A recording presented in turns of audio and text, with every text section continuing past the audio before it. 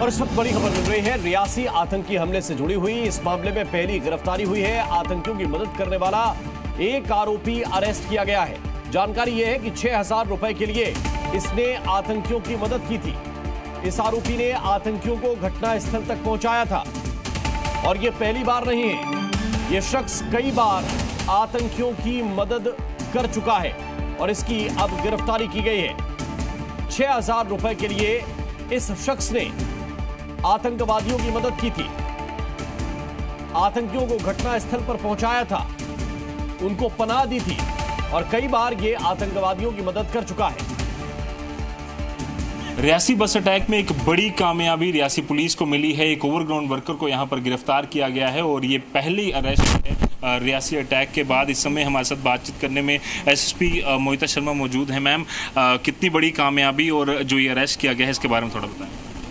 मैं दोबारा यही कहूँगी बड़ी कामयाबी नहीं पहली कामयाबी। बड़ी कामयाबी उस दिन होगी जिस दिन इन आतंकियों का या तो हम खात्मा कर देंगे या फिर इनको ज़िंदा पकड़ लेंगे। मैम इसके बारे में बताएँ ये कहाँ से पकड़ा गया क्या इसका नाम है तो डिटेल इसका नाम है हाकम दीन और ये बंदराही एक इलाका पड़ता है रजौरी ज़िले का वहाँ से इसको पकड़ा गया है। अभी तक जिस जो इसने बताया है तीन आतंकियों की बात करता है जो कि पाकिस्तान के आए हुए थे। इसने उनको पन्हा देने का काम किया है उनको खाना देने का काम किया और उनके गाइड का काम किया है।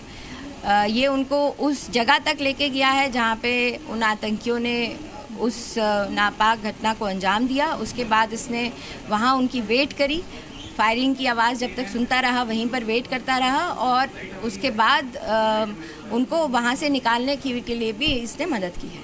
क्या कुछ अभी तक रिकवरी इससे हो पाई है? छः हज़ार रुपये की बात करता है ये जो कि रिकवर कर लिए गए हैं जो जो आतंकियों ने इसको दे दिए थे इन, उनकी मदद करने के लिए। आ, क्या इसने बताया कि कितनी बार ये आतंकियों से मिला या किस किस तरह की मदद इसने की? जैसे आप पहले भी बता रहे थे सीसीटीवी जो है वहाँ पर इस तरह से नहीं ये दिखे। इसने आ, बताया है कि अभी ये तीन बरी वो आतंकी इसके पास पहले आ चुके। टोटल उस वाले दिन का भी मिला के। और तीनों बरी इसने यही काम किया है, उनको पन्हा दी है, उनको खाना वाना प्रोवाइड किया है और आसपास के एरिया की रेकी करी है। और इसने ये इंश्योर किया है कि सीसीटीवी कैमरास को अवॉइड करता हुआ ऐसा कोई रूट जो है, उनको लेके जा सके।